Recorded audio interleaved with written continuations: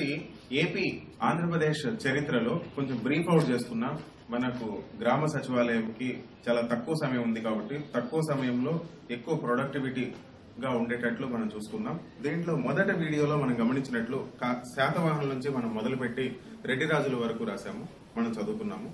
ఆ రెడ్డి రాజుల తర్వాత ఎట్ ప్రెసెంట్ మనకు విజయనగర సామ్రాజ్యం గురించి తెలుసుకుందాం. విజయనగర సామ్రాజ్యం ఎప్పటి నుంచి అంటే పదమూడు వందల ముప్పై ఆరో సంవత్సరం నుంచి పదహారు వందల డెబ్బై ఐదో సంవత్సరం వరకు వీళ్ళంతా పరిపాలించారు.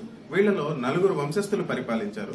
వీ నలుగురు ఎవరు అంటే సంగమ సాడువ తుళువ ఆరవేటి. తుళువ ఆరవేటి. వీళ్ళందరూ పరిపాలించారు. వీళ్ళలో మొదటి వాళ్ళు ఎవరు అంటే సంగమ. ఇక్కడ రాసినట్లు మొదట రాసినట్లు. వీళ్ళు ఎప్పటి నుంచి ఎంతవరకు అంటే పదమూడు వందల ముప్పై ఆరు నుంచి పద్నాలుగు వందల ఎనభై ఐదు వరకు పరిపాలించారు. వీళ్ళు ఆంధ్రదేశ ఆంధ్రదేశానికి సంబంధించిన వాళ్ళు అంటే మన ఆంధ్రప్రదేశ్ వాళ్ళు వాస్తవ్యులు అనమాట ఆంధ్రదేశానికి ఆంధ్ర ప్రాంతానికి సంబంధించిన వాళ్ళు. ఎప్పటి నుంచి ఎప్పటి వరకు పరిపాలించారు? పదమూడు వందల ముప్పై ఆరు నుంచి పద్నాలుగు వందల ఎనభై ఐదో సంవత్సరం వరకు పరిపాలించారు. దాని తర్వాత పద్నాలుగు వందల ఎనభై ఐదు నుంచి పదహైదు వందల ఐదు వరకు సాళవ వంశస్థులు మనకు పరిపాలించారు సేమ్ విజయనగర సామ్రాజ్యాన్ని. అయితే వీళ్ళు వచ్చేసి కర్ణాటక వాస్తవ్యులు. కర్ణాటక వాస్తవులు అతి తక్కువ కాలం మనకు పరిపాలించింది విజయనగర సామ్రాజ్యంలో ఎవరు అంటే సాళవ వంశస్థులు.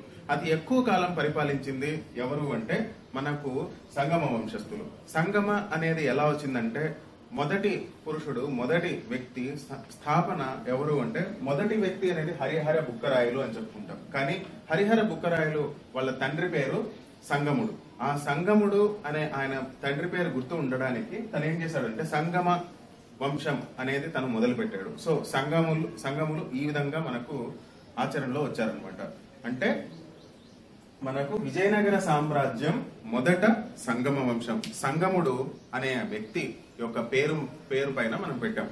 మొదటి వాడైతే మనకు హరిహర బుక్కరాయలు చివరి వాడైతే ప్రౌఢదేవరాయలు ప్రౌఢదేవరాయలు చాలా చివరి చిట్ట చివరి వారు అయితే గొప్ప వాళ్ళు ఏంటంటే రెండవ దేవరాయలు. రెండవ దేవరాయలకు బిరుదు ఏంటంటే గజ భేటకార గజ భేటకార అనేది బిరుదు. రెండవది మనం చెప్పుకున్నాం ఇప్పుడే మనము సాళవ వంశస్థులు అని చెప్పుకున్నాం. ఇంకా సంగమ వంశస్థులు దైవ ఏ దైవాన్ని ఇష్ట దైవం ఏంటంటే శివుడు. శివుడు. శివుణ్ణి కొలిచేవాళ్ళు. దాని తర్వాత సాళువ వాళ్ళు సాళువ వంశస్థులు విష్ణు భక్తులు. వీళ్ళలో మొదటివాడు సాళువ నరసింహారు. సాళువ నరసింహ. ఇతని ఆస్థానంలోనే మన అందరికీ తెలిసిన అన్నమయ్య సంకీర్తనలు ఈ- ఈ పాటలు ఉన్నాయి కదా? రాసిన గేయకర్త అన్నమయ్య. ఆ అన్నమయ్య ఇతని ఆస్థానంలోనే ఉండేవాడు. ఇంకా ఇమ్మడి నరసింహుడు నరసింహరాయలు అనే అతను చివరివాడు. వీళ్ళిద్దరూ కూడా సాలవ వంశస్థులు. సాలవ వంశానికి చెందిన వాళ్ళు చివరివాడు మొదటివాడు అండ్ మొదటివాడి ఆస్థానంలోనే అన్నమయ్య ఉండేవారు. దాని తర్వాత పదహైదు వందల ఐదు నుంచి పదహైదు వందల డెబ్బై వరకు మనకు తుళువ వంశస్థులు పరిపాలించేవాళ్ళు. ఈ తుళువ వంశస్థులు కూడా విజయనగర సామ్రాజ్యానికి చెందిన వాళ్ళే అంటే మూడవ వంశం తులువ వంశం. ఈ తులువ వంశం వీళ్ళు తులువ వంశస్థులు ఎక్కడి వాళ్ళు అంటే కర్ణాటకలోని తులువ రాజ్యంలో వీళ్ళకు జన్మస్థానం కాబట్టి వీళ్ళకి ఆ పేరు మీద తులువ వంశం తులువ వంశస్థులు తుళువ విజయనగర సామ్రాజ్యం అని మనకు పేరుందనమాట ఈ తులువ వంశస్థుల్లో మొదటి వాడు ఎవరు అంటే తులువ నర నరసనాయుడు. తులువ నరసనాయుడు. చివరివాడు ఎవరు అంటే చివరివాడు సదాశివరాయలు. చివరివాడు సదాశివరాయలు మొదటివాడు తులువ నరస నాయుడు. వీళ్ళలో గొప్పవాడు వీళ్ళందరికంటే చాలా గొప్పవాడు చాలా మనకు గ్రంథాలైనవి. వీళ్ళలో ఇంకా ఇంకొకటి ఏంటంటే శ్రీకృష్ణ దేవరాయలు శ్రీకృష్ణ దేవరాయలు చాలా గొప్ప వ్యక్తి. ఇతను చెప్పిన ఒక మాట అందరికీ గుర్తుండే ఉంటుంది.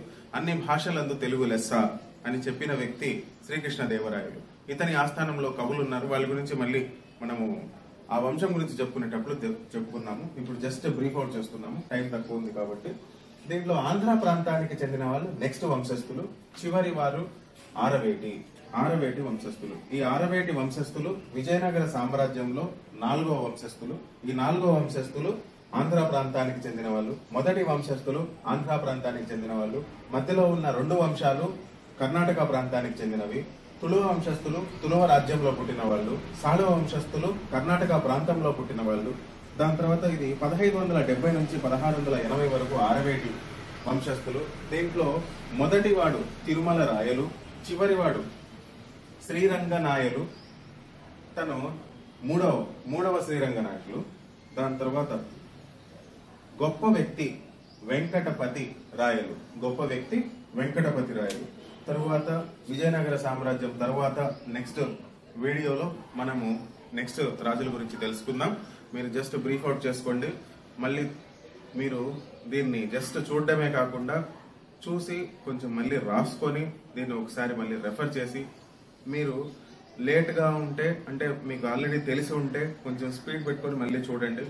ఈ విధంగా మీరు చేసినట్లయితే తక్కువ టైంలో ఎక్కువ మార్కులు సంపాదించేదానికి ఎక్కువ సబ్జెక్ట్ తెలుసుకునేదానికి మీకు ఆస్కారం ఉంటుంది. అందుకే మాస్టర్స్ అకాడమీ వైపు నుంచి ఈ ప్రయత్నం. ఇంతటితో నెక్స్ట్ వీడియోతో మళ్ళీ కలుద్దాం. బాయ్ హాయ్ టు ఎవరీవన్ నా పేరు హాజీవల్లి. నేను హఫీజ్ ఆధ్వర్యంలోని మాస్టర్స్ అకాడమీలో ఎస్ఐ కోచింగ్ తీసుకుంటున్నాను. ప్రస్తుతం ఉన్న కాంపిటేటివ్ ఫీల్డ్లో జాబ్ పొందాలంటే సబ్జెక్ట్ పైన పూర్తి అవగాహన ఉండాలి. సబ్జెక్ట్ పైన పూర్తి అవగాహన లేకపోతే జాబ్ పొందడం చాలా కష్టం. కావున అది దృష్టిలో పెట్టుకుని మాస్టర్- మాస్టర్స్ అకాడమీలో ఆఫీసర్ సార్ తన పూర్తి సమయాన్ని విద్యార్థులకు కేటాయించి విద్యార్థులు తమ లక్ష్యాలను చేరుకునేలా తోడ్పాటు తోడ్పాటు అందిస్తున్నాడు.